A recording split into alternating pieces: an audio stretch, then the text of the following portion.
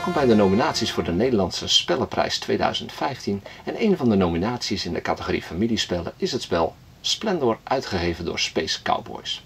Het is een spel voor 2 tot 4 spelers waar je ongeveer een half uur mee zoet bent en in dit spel proberen de spelers zo voordelig mogelijk edelstenen te verzamelen. Uiteindelijk wint degene die de meeste punten weet te verzamelen.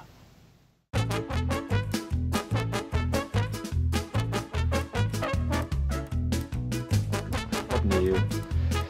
Als een speler aan de beurt is, heeft hij grofweg keuze uit twee mogelijkheden. Ofwel hij pakt edelstenen van de verschillende stapels, ofwel hij gebruikt edelstenen om kaarten te kopen die hier op tafel liggen. De prijs van de kaarten staat altijd links onderaan vermeld. Uh, daar staat een aantal en een kleur en dat zijn de edelstenen die nodig zijn om een kaart te kopen. Daarnaast geven de kaarten zelf ook weer korting bij toekomstige aankopen. Als ik bijvoorbeeld deze kaart zou kopen, daar staat een rode edelsteen op, dan heb ik voortaan een korting van 1 rode edelsteen.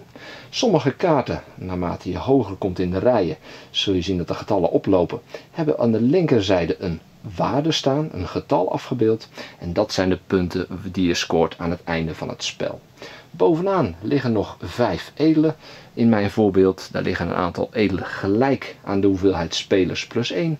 En die edelen zijn ook weer te verkrijgen door kaarten te verzamelen. Als we bijvoorbeeld kijken naar deze edelen, dan krijg je die zodra je drie groene, drie blauwe en drie witte kaarten voor je hebt liggen. En zij is waard 3 punten. Door goed te plannen en op tijd je kaarten te kopen voordat je tegenstander doet, kun je de mooiste kaarten naar binnen halen, de meeste punten verzamelen en uiteindelijk de winnaar worden van Splendor.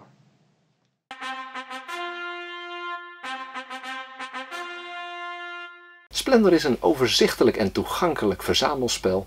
Ehm, je probeert als handelaar op het juiste moment te investeren en tegelijkertijd wil je je medespelers zoveel mogelijk dwars zitten. Dit familiespel schittert in een vriendelijke setting, maar je kunt het ook spelen met het mes op tafel.